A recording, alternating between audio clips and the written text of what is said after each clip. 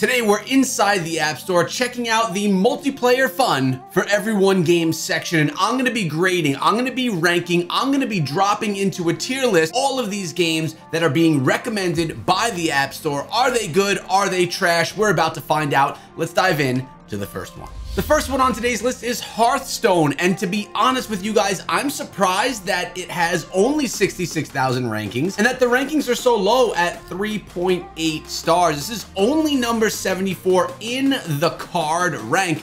We know we're talking about a Blizzard game right now. Let's take a look at some footage. All right, so the graphics are good. You know what you're getting when you're talking about a Blizzard style game. And I mean, this is Hearthstone. Many people know it from the PC version. It was brought over here to mobile and in my opinion is a really solid representation of Hearthstone overall. I actually think this is a really great game. I think it's a must play. And if I were to drop this one right here on a tier list, I would have to give Hearthstone an S tier. You really don't get much better when you're talking about card style games on mobile. Next on the list is League of Legends Wild Rift, and we actually just had this game on our gorgeous games tier list that we put out just a few days ago. 3.1 thousand ratings. 4.2 stars. I was actually surprised on how few ratings there were. This one is an editor's choice, and it's a really great game. Again, another one that came from PC, MOBA style. If you like League of Legends on PC, there's absolutely no reason why you wouldn't enjoy it if you're a mobile gamer on mobile. This is essentially a must play game probably the leader, if not one of the leaders in the MOBA space on mobile. Another S tier game right here. Oh, ho ho Badland Brawl, 18,000 ratings, 4.6 stars. This one is a lot of fun and it looks really cool too. As you can see from the gameplay, it's a really cool and fun, light looking game. You have your opponent on the other side of the bridge, you're on one side of the bridge, and you need to take down the tower of your opponents. Super fun, Clash Royale style-ish, but at the same time, extremely different. This one is a lot of fun. I would not go as far as to call it an S tier game though. It's one that I've played, enjoyed, but it failed to hold my attention long term. So because of this, we're gonna go ahead and give Badland Brawl an A. PUBG Mobile. I mean, need I say more? Probably the number one battle royale action game on mobile right now.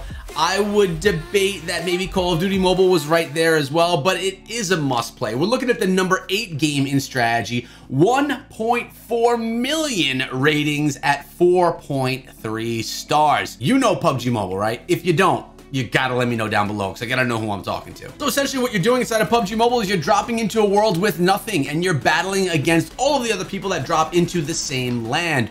Pick up weapons, get better weapons and upgrades as you go, loot people as you are taking them down because you would win that battle, or you could lose yourself and that will be the end. But what you wanna grab is that chicken dinner.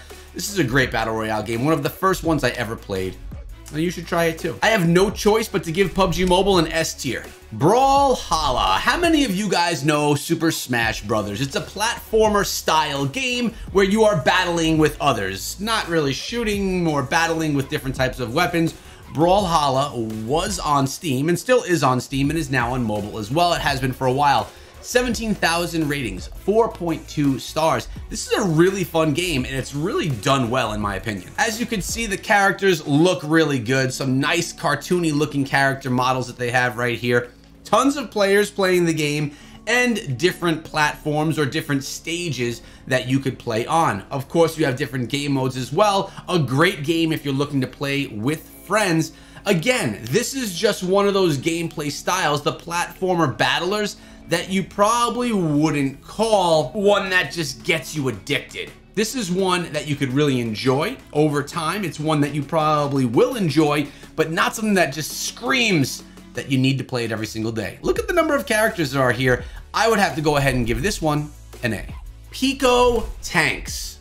Hmm, a tank shooter game. 8.2 thousand ratings, 4.6 stars on those ratings. So we're talking about a cartoony tank style game. These things are super fun, but they're not the games that you play year after year after year. Definitely cartoony, cool looking. You could use your emotes, interact with others, but this is one that is just gonna lose that luster as time goes on. We could call that lackluster. At the same time, it is a lot of fun. It is something that's gonna be on your phone for a while, and you can enjoy it for a while. Pico Tanks. We gotta go ahead and give this one a B tier. King of Crabs, they say, huh? 16,000 ratings, 4.6 stars.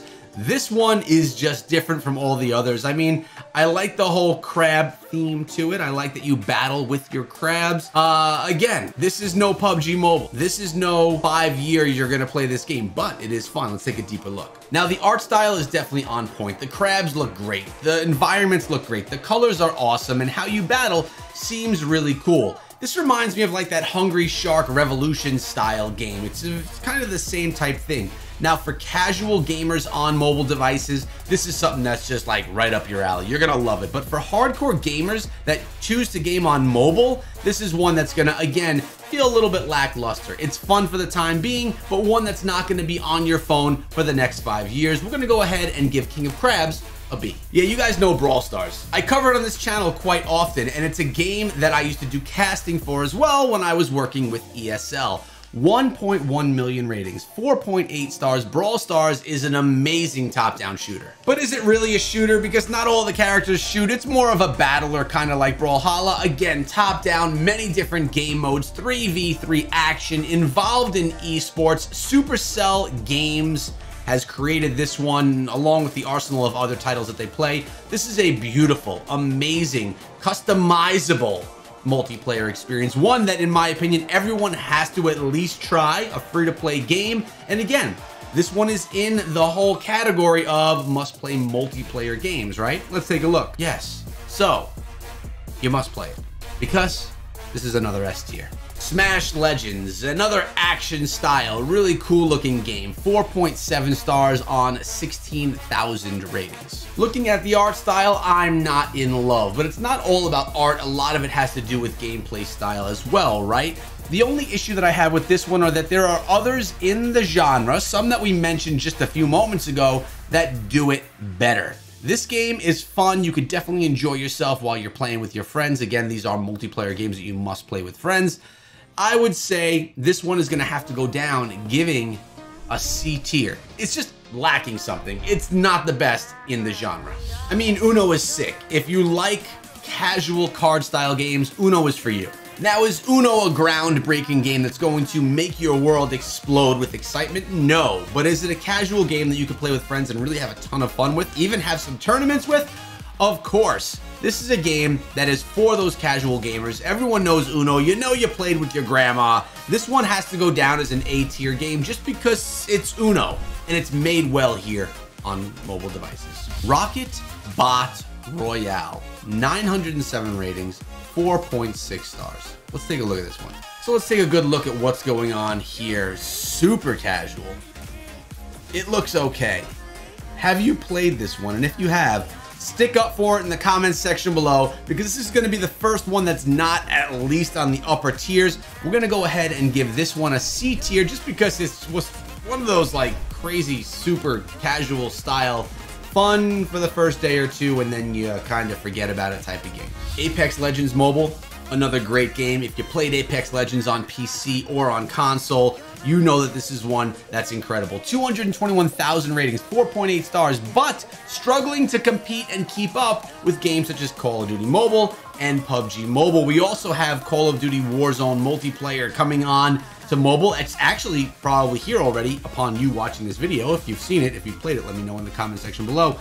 Apex Legends Mobile, though, is really good. So good because it does Battle Royale its own way, its own legends, its own gameplay style, and it really is not just a port from PC, but done in its own way.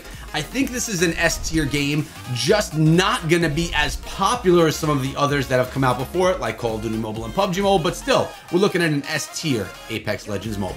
Hope you guys enjoyed today's video. Let me know in the comments section below what games are must-play multiplayers for you. Let me know and maybe I'll check them out in an upcoming video. In the meantime, make sure you sub, ring the bell because I'll be back tomorrow with another video. Have a good day, guys, and be good.